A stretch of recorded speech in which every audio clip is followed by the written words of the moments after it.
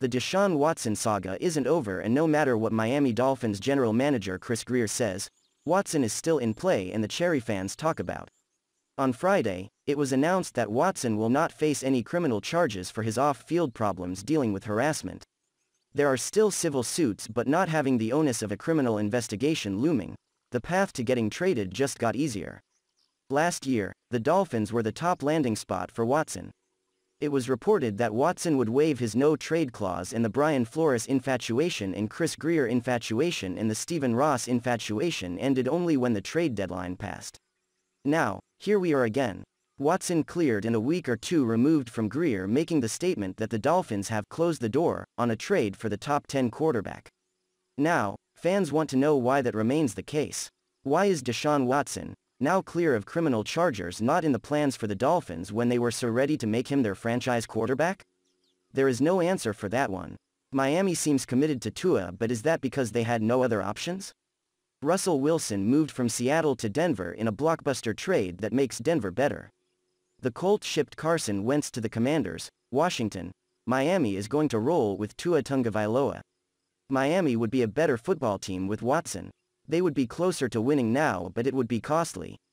It would eat up their cap space and deprive the Dolphins of draft capital but let's be honest with ourselves, the Rams didn't care at all when they traded for Matt Stafford. It worked out pretty well and that Super Bowl victory will ease the problem of losing draft picks. Would Watson do the same for Miami? Maybe but the AFC is tough and the quarterback talent is very good. Miami will need a great cast around him. They have the pieces but quarterback might just be the one that is missing. This is the argument for trading for Watson. It is a big splash. It would define Stephen Ross's ownership of the Dolphins. As much as riding with Tua will define it as well. Trading for him could eventually cost jobs, not trading for him would as well. Miami is riding a razor wire when it comes to Watson talks. Whether they are internally over it or just saying it to keep the internal peace, Watson talk isn't going away but Miami may also find this out as well. They may not be where Watson wants to go now. Flores is gone and that entire mess is now what the Dolphins are dealing with. Did Watson want to play for Miami or Brian Flores? Would he want to play for Mike McDaniel?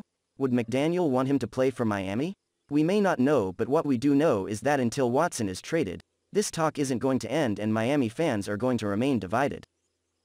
Emmanuel Ogbah may no longer be a Miami Dolphins defensive end by this time on Wednesday and if the latest rumor has him leaving South Florida. Overrated? Not even close. Underrated? Absolutely. Emmanuel Ogbah has been everything the Dolphins hoped he would be when they signed him in 2020 as a free agent. He was good in Kansas City and had promise in Cleveland but in Miami, he became a major player and now, he is about to get paid. According to Omar Kelly, the Dolphins could lose Ogbah and Kelly is reporting that Ogbah is leaning towards leaving the Dolphins.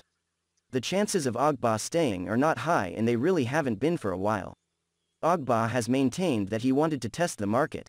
That isn't a surprise. Whether or not he brings an offer back to Miami to match is the question.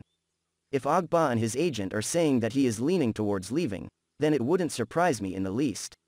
Why would any player facing free agency say they were close to staying in Miami or with any team? That would cost them money. Ogbah may be leaning towards forcing the Dolphins to up any offer they may have made or make it clear that if they don't come to the table with something that is close to what might be offered he will leave.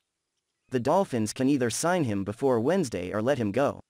Over the next 48 hours, Ogbah and his agent will have a much clearer idea of what his market will look like, what kind of money he could be seeing, and if the Dolphins are looking, seriously, to bring him back. Until then, yeah, he is leaning to leaving because he needs Miami to think that and in the end, he very well may just do exactly that.